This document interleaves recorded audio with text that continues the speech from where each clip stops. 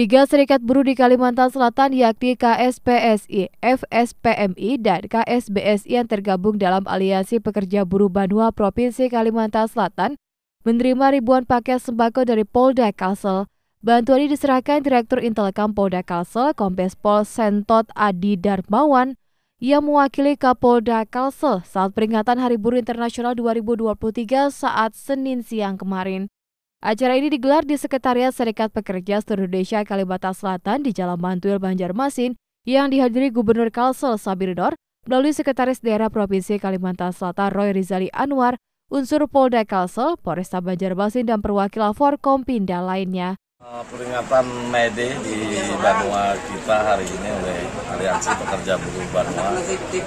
sesuatu dan lain hal yang sudah bisa saya jelaskan di sini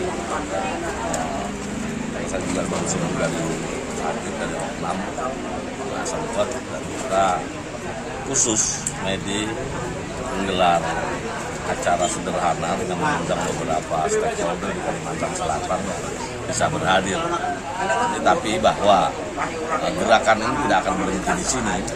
karena Undang-Undang Nomor 6 tentang Cipta Kerja pengesahan dari Perpu Nomor 2 eh, tahun 2022 kemarin juga